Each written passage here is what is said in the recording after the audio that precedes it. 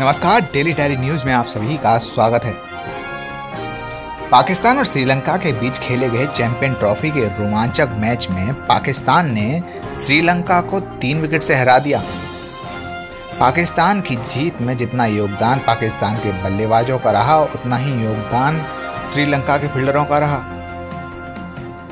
लेकिन इससे अलग आपको ये बता दें कि पाकिस्तान में जहाँ एक तरफ़ जीत का सेलिब्रेशन चल रहा है, वहीं पाकिस्तान की मीडिया अभी भी भारतीय क्रिकेट टीम को घेरने से नहीं बच रही। पाकिस्तान मीडिया का कहना है कि अब भारत और पाकिस्तान के बीच चैंपियन ट्रॉफी का फाइनल होगा, जिसमें पाकिस्तान टीम अपने पिछले मैच की हार का बदला लेगा।